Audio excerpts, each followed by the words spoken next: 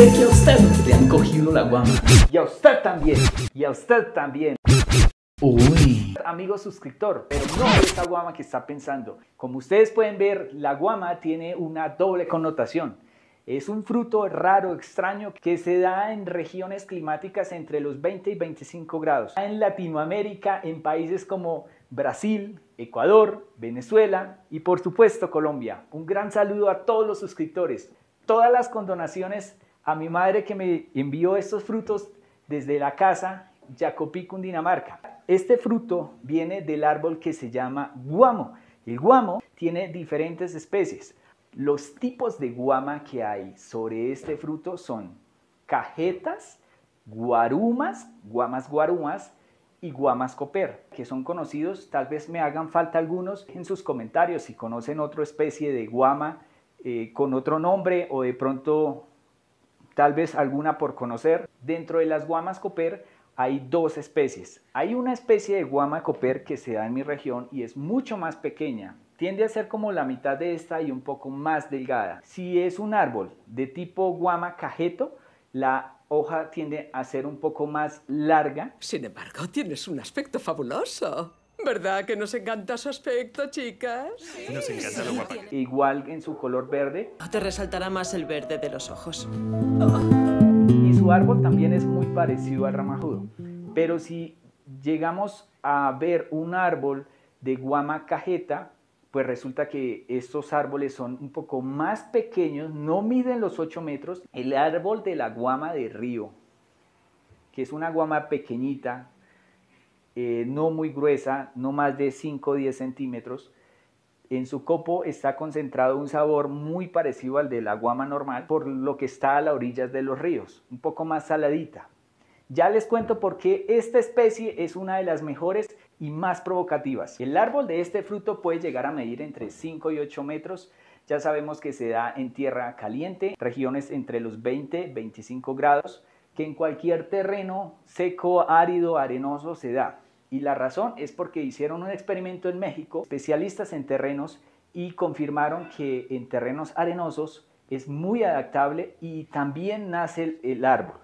¿Pero por qué? La razón es porque en su parte interna tiene un grado de acidez que es muy adaptable a cualquier terreno, puede sobrevivir sin agua y aparte de eso, cuando él nace entre sus 5 y 8 metros, pues nos brinda sombrío no solo a las personas, sino también a las plantas que están por debajo de esa altura, cubriéndolas también del exceso de sol, del exceso del viento. Algunos lo utilizan para sombrío en las casas, otros lo utilizan para leña cuando se va a cocinar el melado o para sacar la panela, que realmente es una pérdida darle sombra al ganado, que nos sirve para sembrarlo cerca de la casa como sombrío, como protección del aire, de los vientos, lo utilizan para cercas, para poder cercar los potreros, los van sembrando en hilera, para hacer columpios, ya que sus ramas son muy flexibles y yo lo he hecho en mi casa. Otro uso que le dan a ese árbol es que lo siembran en los cafetales para producir sombra, por lo que les contaba que es muy ramajudo y eso hace que proteja todo el café que está alrededor. Cuando se hacen estas siembras de árboles es recomendable que entre cada árbol que usted siembre está entre 4 y 6 metros de distancia en cada uno. Digamos que del grosor puede llegar a medir entre 5 y 8 o 10 centímetros de ancho, de pronto un poco más, 20, 30, 40, dependiendo la edad del árbol.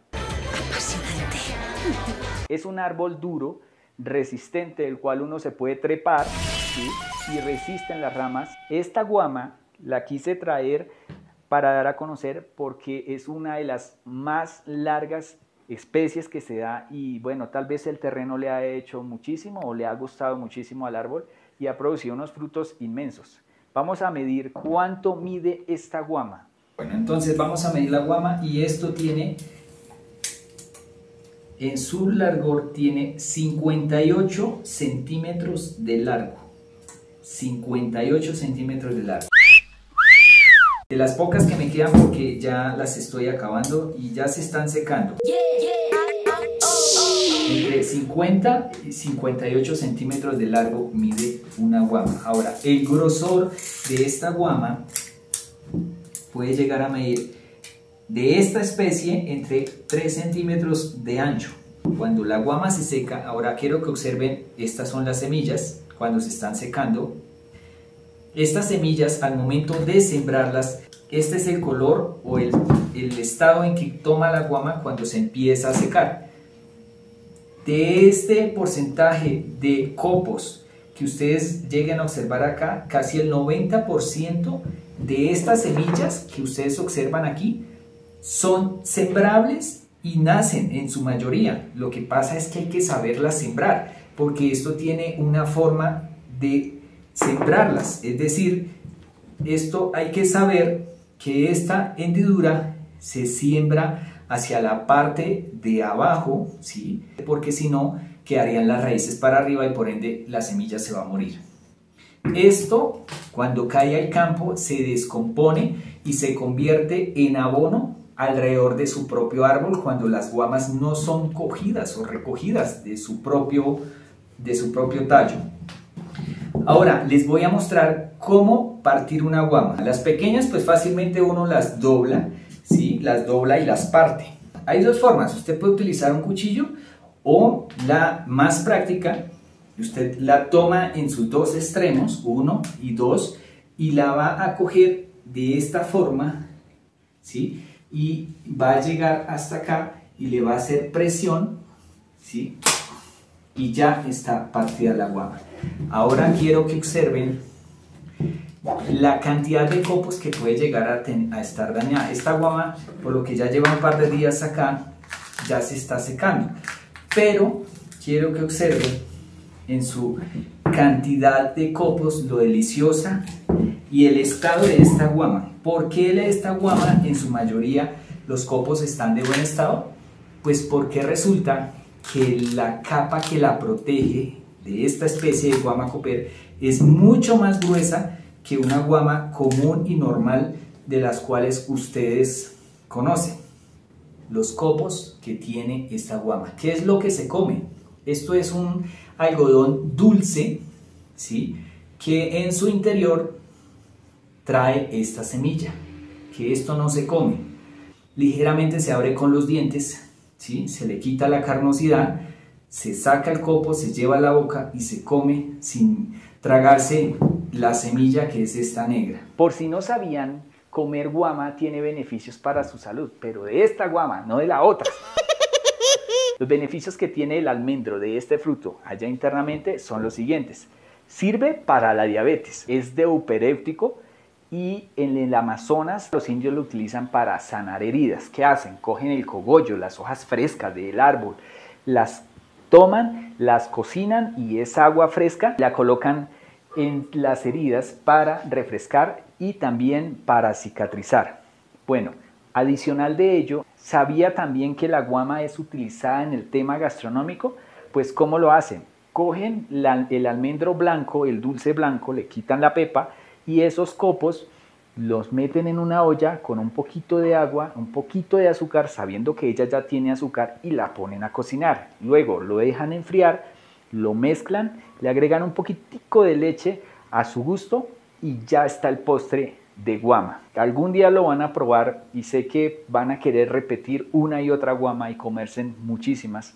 Si come demasiadas, posiblemente le llegue a doler el estómago, ¿sí? Porque todo depende de la adaptación del organismo que esté preparado para recibir este almendro. Aunque él es muy fresco, es muy natural, es dulce, por lo menos aquí en Colombia no se conoce una empresa dedicada a la fabricación de productos gastronómicos como postres o dulces de este fruto.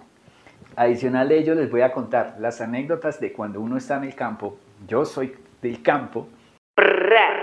Uno es pelado, es chino y es inocente. Por allá en esas épocas en estas épocas cuando están en cosecha, discúlpenme la palabra, pero es robar las guamas de los vecinos. Es decir, si hay un árbol bueno en algún lugar de su finca o de los aledaños, lo que hace uno es mirar en qué momento los vecinos no están para ir y comer este delicioso fruto que realmente se da cada año, es decir, por temporada. Y aquí en Colombia los frutos se producen entre enero, febrero, marzo, casi en Semana Santa estamos en plena cosecha. Por eso les quise compartir esta información porque si ahora va a ir al campo, ahorita en Semana Santa, pues es el tiempo para que usted pregunte o disfrute de este delicioso fruto llamado la guama. Espero también más adelante en alguna oportunidad poderles compartir el árbol, las hojas, el tallo, alguna funcionalidad, algo así extraño. Sin embargo, si conoce alguna especie diferente a este tipo de guama o si de pronto yo esté equivocado en algo, déjenme sus comentarios, sus anécdotas, qué le ha pasado, qué le gustaría seguir conociendo en el canal. Esto no es mío, simplemente soy un canal, un medio de transmisión de información para todos ustedes que llevan en su corazón a nuestro hermoso y querido país. ¿Verdadero o falso? Verdadero. Así que ojo por ahí y cuidado con el doble sentido de si le han cogido o no la guama. Esto es Colombia. Saludos. Chao, chao.